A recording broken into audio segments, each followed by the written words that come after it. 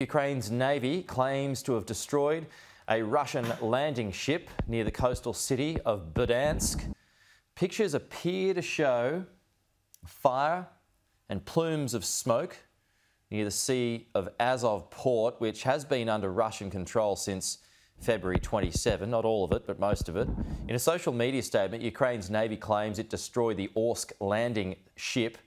Russia has not yet confirmed the attack, though.